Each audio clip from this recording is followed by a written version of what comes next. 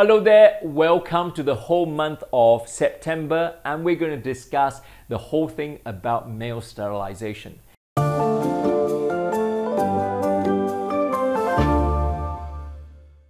Many people worried about sterilization because they have misconception about sterilization. Sterilization is not castration, therefore do not worry about the testicle being removed.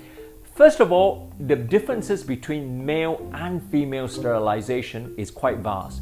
For example, men actually can undergo such procedure under local anesthesia and women have to undergo it under general anesthesia.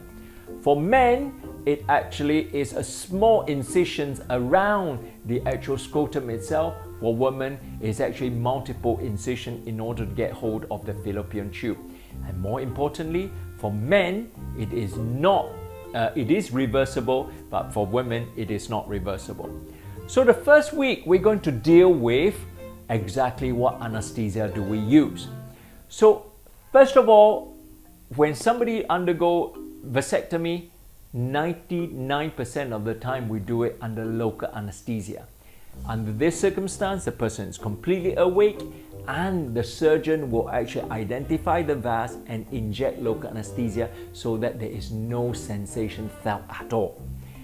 Under such circumstance, there will be a small 6 millimeter incision made and also the vas will be exteriorized and segmentally excised and both sides of the vas will be cut and subsequently the stitches will be applied on the scrotum itself.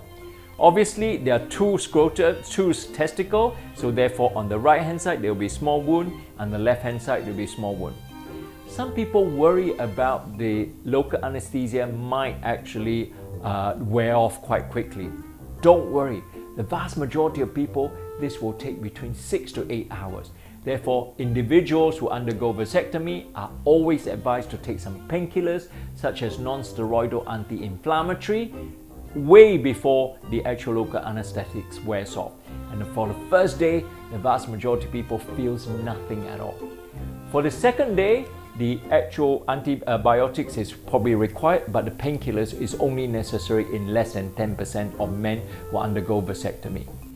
So for men who truly, truly are quite scared of pain, there's other options of general anesthesia. However, if you consider that your wife undergo the whole childbirth for you, a small cut for the local anesthesia induced vasectomy probably is quite worthwhile and probably you need to do it without the whole problems of general anesthesia.